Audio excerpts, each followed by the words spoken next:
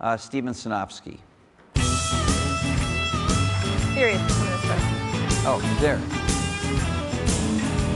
Hi there. Hi. Hi there. Hi, Steven. So, um, I think a lot of people are curious about something uh, involving you personally, which is w- why did you, you know, ship Windows 8 and then leave Microsoft? It was time for a change. Um, you know, I talked to a lot of people here, and people, some people come up and go, 23 years in one place. How did you ever do that? Right. And a lot Plus of people. Microsoft. They added the Microsoft part in Invisible. You added that. Okay, right. I love Microsoft. I loved everything I did there, everything I had the opportunity. Was the, I loved the people, the leadership, everything about it was great. But it was time for to do something different. You know, a couple times in my my career, I, I took breaks. I took a sabbatical back in 1998, about nine years after I started to uh, to teach. In 2004, we went and lived in China. And what I found was that learning and, and experiencing things from a different perspective was the most energizing and the most rewarding part of, of sort of growing just as a, a product person. And then you reach a point where you know you really want a, a truly different perspective. And so I felt like I needed to separate and sort of not be the company guy. You know, even when I was away during those times, I was always the Microsoft guy away.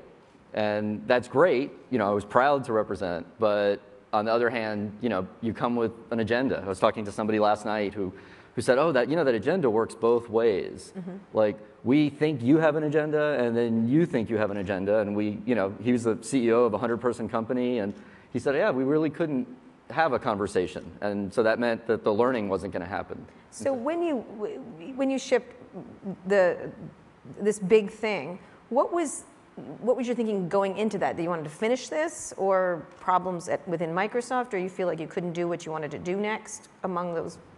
What was your? What, No, it was- You felt like you had to ship this thing and then move on. Right. And you know, I actually d- d- tons of blog posts internally for people about when's the right time to change jobs, and you know, it's it's actually really tricky because products, you know, they they overlap. You know, you start working on the next one before you, and you want to clean break so that everybody knows who's accountable and who's doing what, and so you just kind of you have to pick a time, and so I picked a time. And so uh, I want to talk, and I know Kara wants to talk to you about broader, kind of the broader landscape, but there's a, just a one, uh, one, one th- uh, other thing I think that people wonder about and would love your take on that goes back to the Microsoft uh, uh, period in your life, which is, which is Windows 8 itself. And uh, it's kind of a twofold question in my mind. One is, what went into your into the decision to write a tablet operating system with tablet full screen apps and not restrict it purely to the tablet form factor hardware the way Apple uh, has done with some success, considerable success, and and um, instead to put it into every kind of PC uh, right along with your traditional Windows thing. That's that's one thing. And then secondly, uh, what's your reaction to or, or analysis of what appears to be a slow uptake or a slow start to uh, Windows 8? Well, you know, in a sense, I don't, I don't really want to revisit all of the, the discussion, the dialogue. I mean, one of the things that we tried really hard to do during the development of the product is be incredibly open and transparent. I mean, I, Sure. I got accused too often of writing blog posts or, or just writing the intro to a very long blog post that sort of went into the rationale and to the sort of the thesis behind why we chose to do what we did back when we were a we. And, and I think that, that those decisions are the decisions that we made as a team. I think that the team is moving forward. Today, you saw Microsoft talk about continuing the vision for, for Windows 8. And they're the, the people there are the people that built the product and the best people to just keep that discussion going. Because it's, it's not a thing that just happens once and then ends. It's a, an, ongoing, an ongoing discussion about how the, the product evolves. The, the sales, uh, you know, it's hard for me to look at selling 100 million of something and not feeling great about it. So I sort of feel like, wow, that was a lot. Well, why do you, I mean, I think, uh, follow up, the, the uptake has not been the same. I mean, it's, you, you, you're the person widely credited with coming in and saving the last, the last oper- operating system. And And so this one is not quite the, what's happening, maybe in a broader question, in the market for Right. Windows or wherever, that it's not, because you did get a lot of credit for saving the Vista crisis, and yet this one is not having the same impact as that did. It, it, right. Wasn't it supposed to like get the PC, the traditional form factor PC business out of its malaise and doesn't seem to have done that? I think that the the interesting thing is just the broader dynamic. Okay. And and the fact that the you know the, the industry is undergoing a tremendous amount of change, and and I think that that's exciting, and it means that there's a, an opportunity. And you know the thing that happens when when a big change is going on, I mean it, it really is like a true sort of Thomas Kuhn paradigm shift that's going on, and and all of a sudden it seems like it's happening fast, but it's been evolving, and it doesn't change overnight. It, it will take a long time for, for things to, to play out. And it's exciting, but it means that while it's going on, it, you, you, you can't, you have to resist the urge to sort of pick winners and losers and right and wrong and who's on top and stuff, because it will play out over many years. But things are just are very different. The, the types of, you know, you're, you're well, well known for calling the first Apple smartphones, you know, small computers or handheld computers. And, and so what's really happening is, is that the, the nature of the computer is, is undergoing a transformation. And the, the form factors is a way of expressing that, but also the underlying sort of architecture or capabilities. They're, they're becoming more mobile, and that's not a statement of a form factor, it's a statement sort of the underlying software architecture and how that works. So a simple feature like being able to, you know, be, think your machine is turned off, but when you move from one place to another with the machine sort of off, but the wireless networks reconnect, or you connect from Wi Fi to 4G back to Wi Fi, that's a, a very different paradigm than we historically thought of when you had a wire and, a, and even a laptop. Or, or just the way that, that uh, computers are evolving so that they're much more like a, a sealed case kind of device. And that's an interesting paradigm shift because at first, the, you know, there are a lot of people who make their living or who have their expertise or their sense of empowerment that comes from. You talked yesterday about having five slots, and, being, and there are people who, who value that tremendously. But in order for computing to reach sort of the next billion people, you, you can't have that kind of thing. It needs to be sealed a little bit more. Well, I think it was, wasn't it Apple that started, sort of, eh, started that on their laptops, sealing the battery in that they Well, the- the battery- tremendous, you know, crap for that, right? Yeah, well, the battery is one component, but lots of things are. Yeah, you can't get in. It, I, I think of it a lot like I, I remember when, um, when I was 16 and I was going to get, you know, looking at cars and, and, you know, we were at the car dealership and my father, a product of American Graffiti and, you know, Saturday afternoon car on blocks, changing oil, fixing things and proud of the customizations. We go to this, this, the car dealer, my father asked them to open up the hood. And I'm like, why are we opening up the hood? And he's like, well, you're going to have to learn. And I'm like, I am not going to learn. I'm not in the shop class, Dad. That's other people. And, and I just, I, you know, I remember that very vividly. And I remember my father sort of tasking me on, you, you need to know this stuff. This is part of owning a car means fixing a car. And to me, owning a car meant it worked so I could go to the mall all day Saturday, not so I could fix the car all day Saturday. And I, I think that that's the kind of transformation that's happening in computing. Like, the more people use it, the less that people want to be able to do a bunch of things that actually turns out over time in the masses, you know, reduced battery life or brought on instabilities or security issues or things, you know, all these DLL conflicts or things like that. And, and so the next wave of computing is about bringing it to billions more people. So where does that put when you're creating a win- Windows 8, when you're creating this, this is a train, we've seen this train coming for a while. How difficult it is to shift and why, why wasn't the shift more dramatic within Microsoft, given you had a huge job there, but you, you didn't run the place, someone else did. How difficult was it to shift or change that dramatically? Is it just impossible? And so Microsoft didn't make this shift as fast as it should and kept using words like you, you, all the different phrasing where the PC was at the center of it? they're all PCs. All PC or what? Well, I, I try to choose my words carefully to just say they're all computers. Right. And, and, I, Right. and I think that the shift, I mean, there's two ways to I'm look just at. thinking what happens within a big organization where it's obvious what's coming. It's not like, oh, you have to decide winners and losers. That, that was coming down the putt. I mean, it's like that train is headed right for you.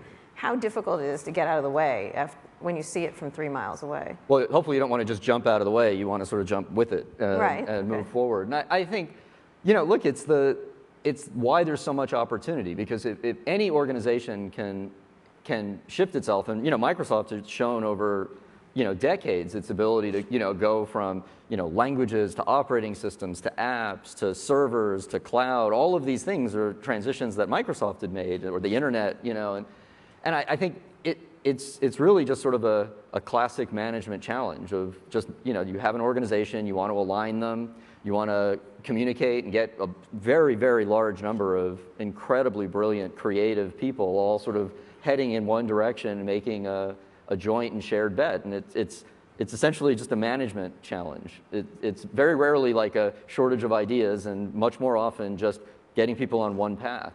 So one of the other things that you did uh, that was uh, a break with Microsoft tradition was you headed up the effort and were very enthusiastically headed up the effort for Microsoft to create its own computers, hardware, hardware, software integrated devices. I just hold it up now because I like you can hold it up. it's okay. People come here and hold things I'm up. doing this for, for Panos. That's fine for Panos, uh, who, who was the guy that runs runs this and worked for Steven. Um, that's the Surface, uh, Surface RT, I would guess. Um, and there's a Surface Pro. So Microsoft makes two computers. You have a factory. I, I know you don't no longer speak for Microsoft, but I assume they'll make some other things maybe there. Can you walk us through why did you feel it was necessary or useful for Microsoft to make its own computer, and how much uh, uh, culture shock was there in the company or, or, or friction in getting them, uh, others at the company, including your superiors, around the idea that you ought to do this? Sure. Well, I don't want to, you know, kind of recast and replay the. We'd like the- you to, but go ahead. I know you'd like us to, but yeah. Okay. Okay. Um, but I, I think that it, a- any organization it, in today's world of technology, I mean, it's a fascinating dynamic where you know we love people love to talk about well there's there's hardware there's software there's cloud there's mobile and they're all sort of related and what what you're seeing in the industry overall is everybody's sort of in everybody else's business in some way or another.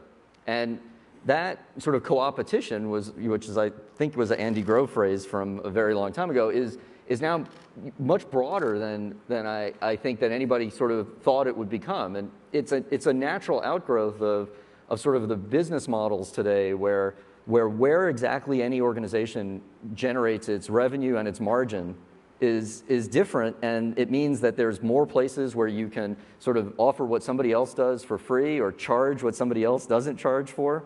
And so all of that is just part of everybody who's a product focused person trying to deliver a great experience. If, if the person at the end of a computer is using a service, using a cloud, using the hardware, and using the software that's embedded on the device or apps, you, and you want to do it well, everybody that makes all of those parts is looking to see which parts to make the most sense to deliver their view, their point of view. Why did it make sense for you to do uh, hardware After years of in- saying that after years of wasn't- not doing it? Well, I, I think. saying, and not just not doing it, saying that wasn't the way to do it.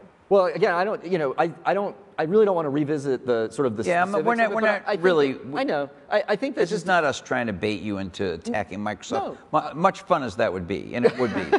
And please feel free.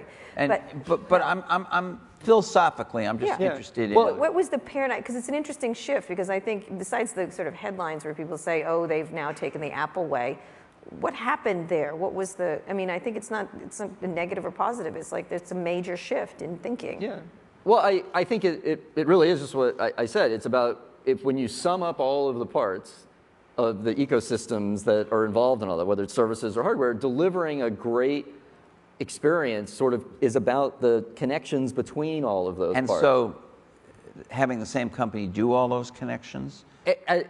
As a, as Uh, Tim Cook kept talking about the connections. Well, they're, they're very real. All the questions that were just earlier were about not like, you know, this part of, of Chrome or this part of Android, but the connection of Android to this other part. Right. And, and that's a, an engineering thing. It's not some faked up, you know, esoteric partnership or it's it's like there are real people who have to sit in an office and write code to connect two things, and and I find that that hugely challenging, and it's the fascinating part. And you, and on top of all that, you have to choose which things you're connecting, and then you have to choose the APIs that are that you open up and at what level in a system and.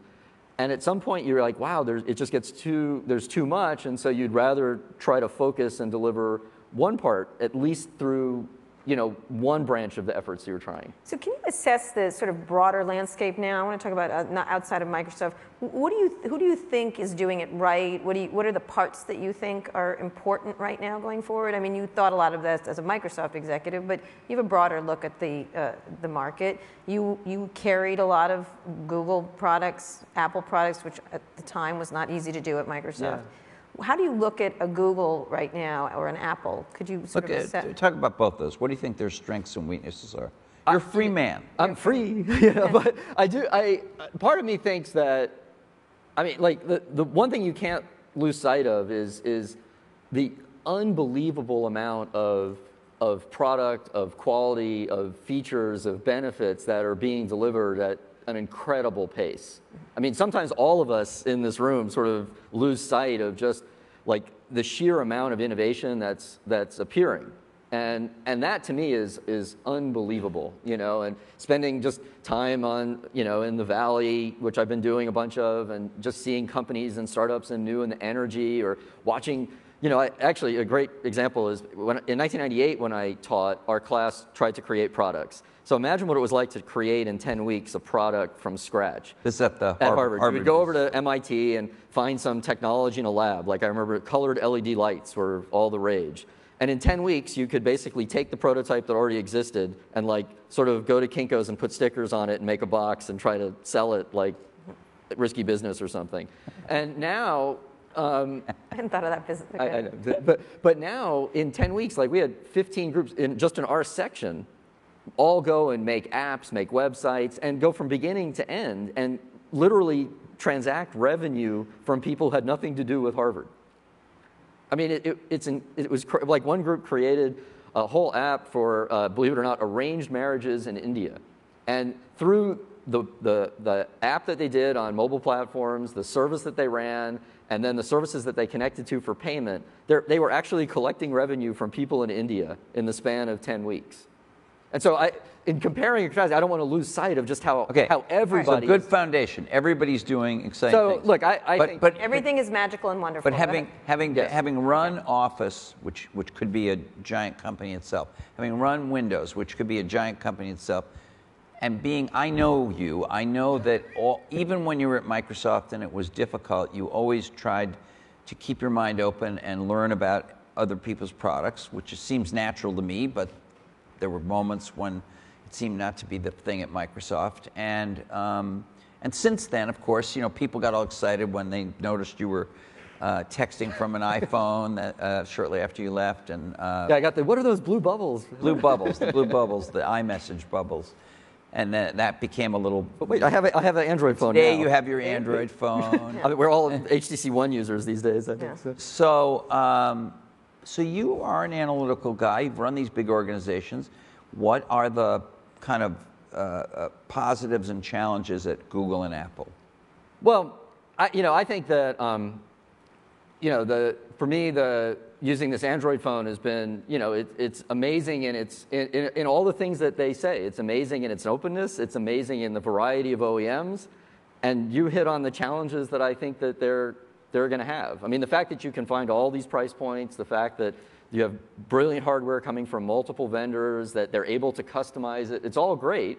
But then the seams, the, the software that duplicates things, you know, I, I mean, I, I, this, I'm, because of the duplicate home screen thing, it actually thinks I'm in Portland, Maine right now, and I don't know why, and the web doesn't know why, because when I ask the web, it all says, oh, that's just a thing, they all do that, and I'm like, really?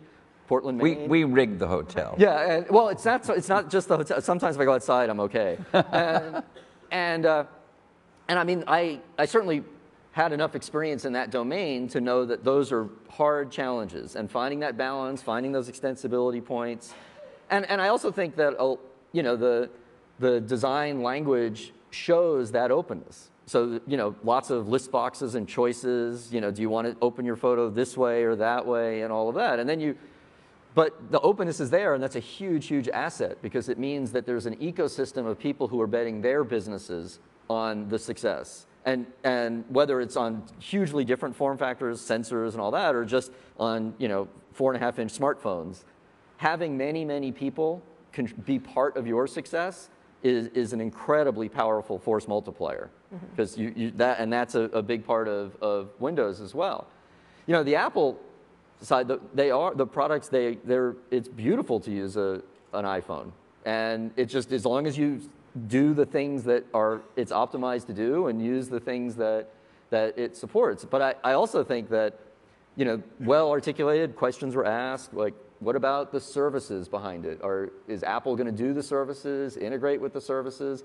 And the interesting thing from a from an engineering point of view is is that if the experience of using a device is, is equivalent to the experience of using the services, then those seams, you need to remove the seams with the service. And I, I, think that the way Apple did iMessage, which I don't think people gave enough credit to, is, is phenomenally good. I mean, the integration with iMessage and FaceTime, you know, the way it's one address book, one sign, all of that, you know, it, it, it's really, really nice.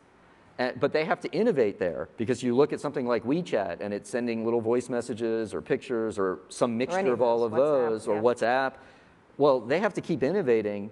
Otherwise, people will look at services from another place. But then those services have integration challenges, not, not in terms of like closed or open, but just like doing as work as good a job for a person at the other end. Can they do that? Can they? Are they Well, you able? can always do anything. Right. But there, and that was I, I was fascinated by that by the discussion about being more open or not, because of course no one is going to sit in this chair and say we want to be closed. Mm-hmm. Like that's not a that won't go over well. It's not not a good thing. But it's the, the subtlety of being open i- i- is hard to sometimes get across, which is you, you open something up and there are nefarious app developers out there and they might not be like super evil but they are looking for every edge over everybody else. So they might think they have a great calculator but what they really that they really want to make sure you see it. So they might put access to the calculator in every conceivable place in the in the operating system that's allowed. And so you might be like um, reading a web page share and then calculator shows up. And you know that would be perfectly legit but that gaming of the system of apis happens when you open something up even if you just intended to make you know the leading social network be able to do something because the part the challenge with apis is you can't you can't pick and choose who gets to call them and so you, it's, it's much more subtle than just And there's also different levels of open, right? I mean, Sundar referred to it, uh, and uh, one of the questioners referred to it. Um, there's Open Android, really Open Android, is used by a bunch of people in, I guess, China and some other places, and more notably Amazon, where they say, okay, we take your word, it's really Open Android, but we're building our whole stack on top of it. Right. It's not what you're building in Mountain View. And, and Sundar said that's a great thing. That's that's good variety. Um, and then there's uh, the the what you have to do if you want the Google Maps and Gmail and Google Search and all that, and the Google Play Store. Most importantly, you you have to sign some kind of agreement. There are rules and terms. I'm not saying it. There's still not a lot of openness in there, but it's not purely open because you're you're accepting some restrictions. Um, Microsoft, you didn't make things that were purely open in that sense, except just like Apple, uh, whether it's on the Mac or iOS, third parties can make could make all kinds of apps on Windows, right? How many apps are, are there in Windows? I, actually i have no idea But I I'm sure mean, it's some number today Maybe yeah. a million. I don't know. Yeah, yeah. whatever it is, you know, or two. uh, You know, a lot. Um, so, how important is it in your mind to exercise some set of rules or, or c- controls? Well, you, you, I think that's part of this new paradigm is that the, the store for getting apps is another part of this paradigm because there, there's some level of customer promise that says when you go to the store to get something, you know, that it meets some criteria. And all the stores have different criteria, different levels of it. But so there's the operating system openness, but then there's the customer part of it, which is, is where the apps come from and what promises do, do they make. And I, I think that this is all very, very sort of young in the evolution over, you know, because it, it seems reasonable, and I actually, of course, have no knowledge of any kind of thing, but that apps will, you know, today they use a lot of community-based ratings, a lot of counting on reviews, but it doesn't seem unreasonable that over time, that there'll be more programmed versions of those kind of things, that people willing to commit to certain levels of functionality. It just seems like the kind of promise that customers are going to eventually want when it comes to sifting through, you know, millions of things. And, and that, but that kind of, of promise to customers that, that software does or doesn't do a certain thing is, is just as important as the promise to the, the uh, channel customers, the OEMs or the hardware partners, to you know that you're open in certain ways, and then there's a promise if we're going to open it, you're going to deliver it in some way. I mean, even whether or not device drivers have digital signatures and stuff was a very early version of that kind of, of promise. But you have, so you had you in, your in the Windows group you you have a, had a store have a store. There's a there's a Windows uh, 8 store. It's also a Windows Phone store, but that wasn't yours. Um, did, did, did you guys sit around and think about how much to curate that store and where did you where do you feel where do you personally feel about it Well, I think I'm not going to talk about the past side Right. of it, but I, no, I, I mean I think going forward, all of the stores are, are you know you're looking at this this very challenging problem where you want to tell your customers you have an asset of you know a million apps, 700,000 apps, 500,000 apps, but you know, you, they customers want some way to to sift through it. You know, certainly the the crowdsourcing of the reviews and the top rated that level of curation is unbelievably helpful. But I, I think all people who do stores, whether they're for music and video or for for apps, are all thinking about well, there's got to be a, a, another level of of customer assistance we can offer. But what's the right way to do that so it's not just a place where the, the, the wealthy suppliers can buy their way to the top and, and influence that way? And what is the right, the right answer to that? And I think this is just the general internet problem. It's the homepage for, you know, it's the homepage for a content-driven site. It's the, the, a shopping site. It's what products to promote at the beginning. I mean, you know, what is, you know, how do recommendations work and all of that? And I, it, I think we're just so early in all of this. And, and it's not, it's a general computing problem of infinite data needs to distill down to a finite set that is programmed for me that might be relevant. So last question, because when we're going to get to audience questions, where do you want to work next? Would you go to Google if they offered you a job, or Apple, or is there?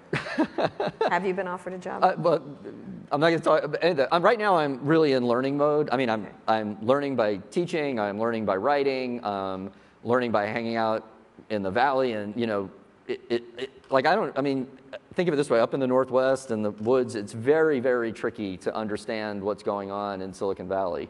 Um, you know, the company guy agenda thing, and, and you know, folks have been unbelievably nice. why, why is it so tricky? Is it just you can't get on a plane? What? well, you get on a plane and then you land, and then everybody's like, "Do you want to buy our company? Do you want to help get the bid for our company raised up? Are you going to steal our secrets? Mm-hmm. You know what? You know, and that it's not, it's not unreasonable, and it, it just you. Just big companies here tend to integrate a little more. Is it?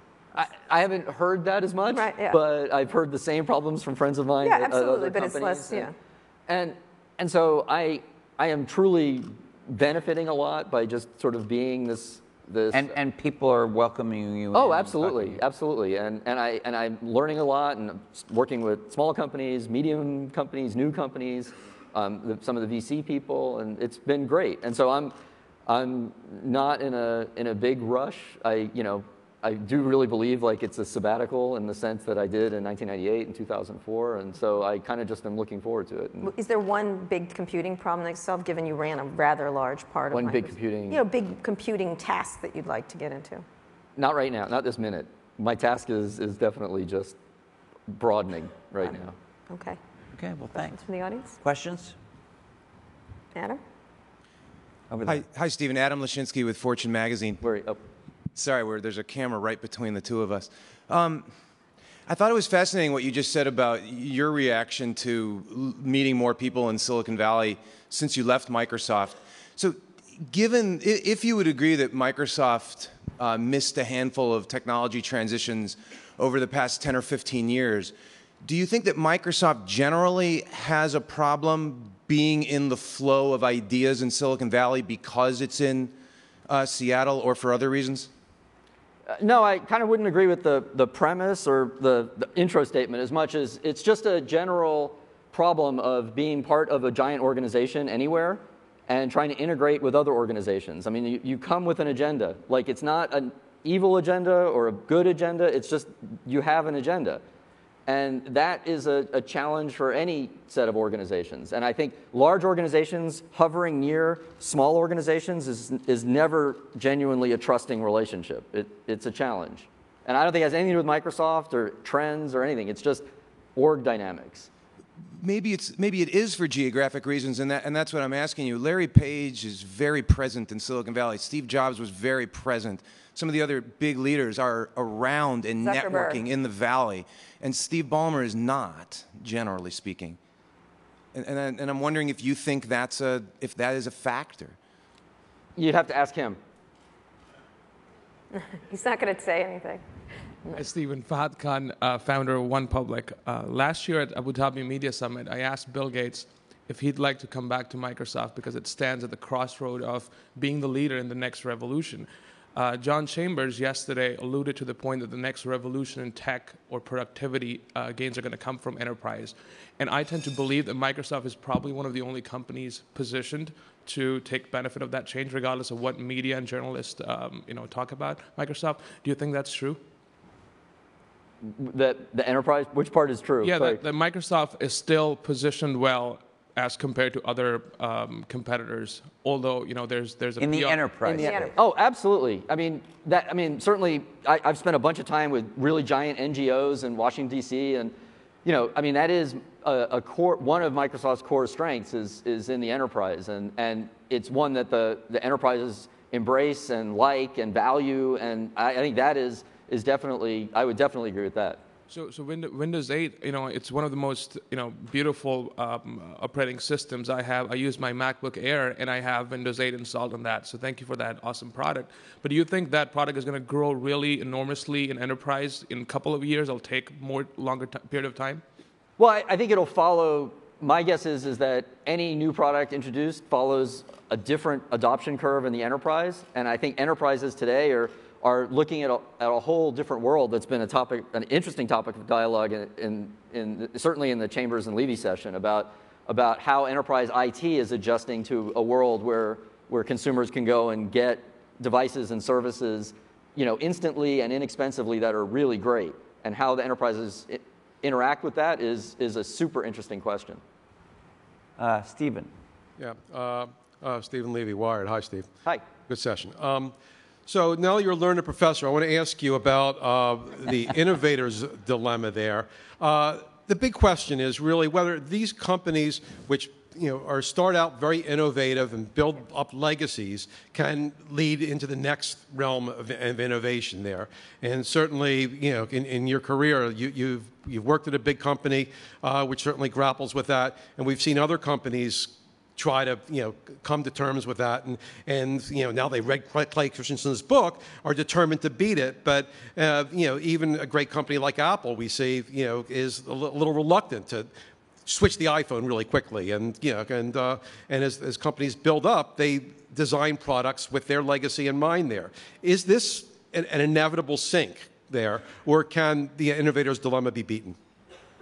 Well you know, it's, it's interesting because, you know, this is the, the little mini department of Harvard Business School that I'm in is where Clay is, and it's the, it is the place. So essentially, it's a non-stop conversation about disruption in, in every industry for everything. And, and the, the whole challenge is, is in talking about it that, you know, business is, is a social science. It's not an actual science. And so you, you can't draw causal li lines very well. You can't really figure out a, an algorithm or a pattern.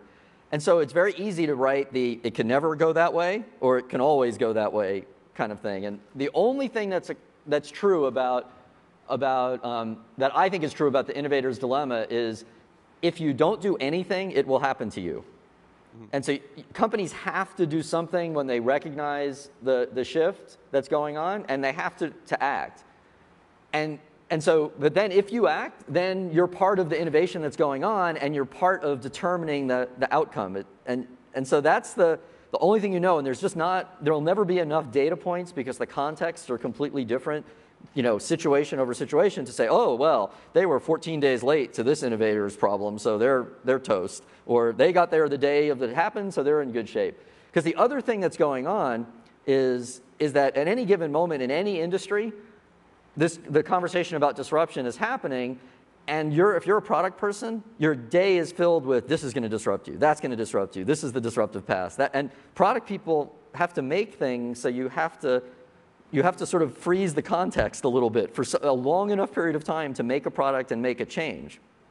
And then you, you freeze it, you do something, and if you are changing, then you, you get back in the market, you revector, and then you get feedback and you keep doing it. And you, that's what, what it means to respond to the potential of an innovator's dilemma problem. And that's not just all you can do, but that is what you're supposed to do. But, but okay, so now switch from professor as a veteran. When you were developing these products, you know that, that had these tremendous legacies, was that a, a, a burden or something that, that, you could stand on the, the shoulders of? Did you feel constrained by it or empowered by it? Well, both. And what you part of what the change is is you look at the assets that you have, and then you decide which are assets in the new vector and which are not assets. And you you focus down on the ones that are assets, and you put in new stuff where you need new stuff. And and that, you know that's what you you do. And you make a bunch of hard choices and a bunch of trade-offs and a bunch of good work, and you just keep you just keep moving. Because the only thing that's guaranteed is if you keep going in the direction you're going, then you're getting further away from where everybody else is heading, or you, you uh, don't go anywhere and you just paralyze and you're like, oh my gosh, we're, we're going to be innovated dilemma to death. That's a verb. It is, believe me. Okay, over there. Uh, Mark Gurman, 9 to 5 Mac. Um, you know, Windows 8, um, which you were a big part of, and Windows Phone, they have this flat design aesthetic, um, you know, with the lack of metaphors of physical objects. And iOS, you know, it's been based on this skeuomorphic design for many years since its inception over five years ago. And it sounds like they're moving into the flat direction that, you know, your Windows 8 really pioneered. And so I was wondering uh, what your thoughts are on flat versus skeuomorphic design in software, because it's really a big deal in terms of the user experience, and how you feel about Apple and other companies potentially moving into that direction. Well, you know, I don't know any more or less than what I read that you write about what Apple is or isn't doing. Um, I, I'm just, I was excited about about um, any product that I've ever worked on, the opportunity to to be part of a product that changes the design language of, of something is, is incredibly exciting. And you know, Julie Green, who led the design of Windows 8, is just you know, one of the industry's best you know, product leader, design leader people. And, and she and people like Jensen and Sam have all done a, a fantastic job on, on the design. And it's just very exciting to be able to introduce that. And it's, it's also very challenging. Um, and it, you know, for whoever introduces a shift in the design language of their product, it's also a disruption and an innovator's challenge. And people build up an ecosystem around you know, graphical elements or paper-based advertising or banner ads that all try to model it. And so it's a, it can be a disruptive thing itself. And so as fun as it is, it's also a challenge. And so if people follow, that's even better. But design is a, a global cross-industry you know, discipline. And so when, when one part of an industry changes, it's usually reflected across a broad set of things like movie credits, you know, TV commercials, print, all of those will reflect, uh, you know, design language. And I, think a lot of the, the design things that I've worked on, have, the, the people who led the design have usually reflected a, a global trend. Okay, we sorry, Hey, one more question. last Sorry, question. guys. Hi, Joanna. Joanna. Stern from ABC News. My question kind of piggybacks on both of Steve and Mark's, which is disruption for the user, for the consumer, and Windows 8 had a lot of that. And I know you might not talk a little, uh, you might not talk at all about if Microsoft could have done more to make that change easier for users, but I mean, do you? And and then secondly, I mean, how can companies or should companies make it easier for the, the customers who use these products to make that disruption easier, to ease that disruption? Well, that, that is a, you know, anytime you change a product, you, you introduce that, that challenge if you have any installed base at all. And that is one of the, the biggest things that that really it makes disruption sort of a challenge is if you have no market, no customers, then you're not disrupting anybody but all the other companies. And if you have a product with customers and you introduce something that's not exactly the same as the old one, by definition, you're going to disrupt them. And, and that's a balance that you, you, you face in anything you do, whether you're making a sequel to a Star Trek movie or a, anything. And, and so you, you know, can you always do more? Well, after you, the product comes out, if it turns out that it was easier or harder, then you can do more or less and change it. And you, you just adapt. And that's part of, of what it means to do this. There, there's no magic answer, but you can't sort of A B test your way to it because a billion people don't get your product until a billion people have your product. And so you, that's part of, you know, Tim Cook loved to say you, you make a set of choices and people are sort of paying you to make those choices. And that's So what you're just a, saying you just guessed? um, no, I'm kidding, I'm saying kidding. no, I'm not. I'm saying you use your product development intuition to, Right. to do things because you, when you test a product, any product, not not Windows 8, just- but any product before it's in market, the, the people who naturally go to use it will use it and push it the way that they push the old one.